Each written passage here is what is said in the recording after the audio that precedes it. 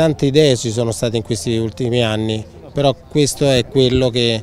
ha avuto dire, il beneplacito ministeriale con, direttamente dal Ministro. Quindi partiamo e vediamo adesso con il nuovo governo di continuare quello che era già stato deciso anche con tutti gli apparati ministeriali.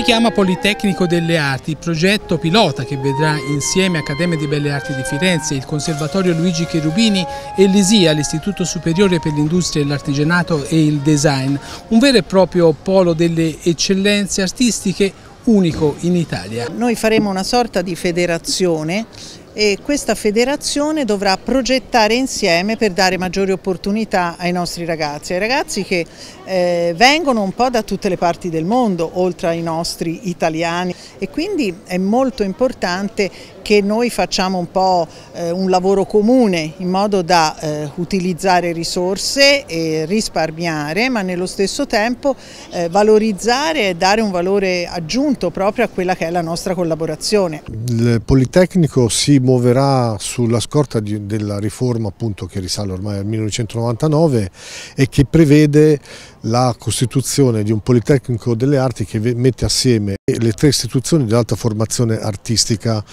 eh, e musicale. È molto importante anche perché andiamo a occupare uno spazio eh, al centro della città che è in piazza Brunelleschi e con l'apporto poi di un finanziamento della Fondazione Cassa di Risparmio. Abbiamo pensato che il nostro contributo permanente potesse essere quello di aiutarli a trovare la casa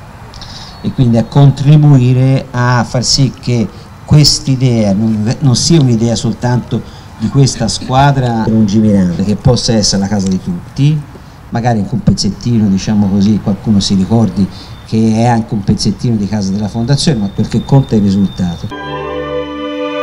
Quanto è importante l'interdisciplinarietà finalmente certo. con una sua sede è importante nel settore AFAM che passi il concetto della multidisciplinarietà, quindi della capacità di offrire e di rispondere alle richieste con un'offerta che sia sempre più completa e interdisciplinare e direi che a Firenze si sta verificando questa situazione, è un po' una tempesta perfetta perché ci sono tre istituzioni AFAM abbastanza raro.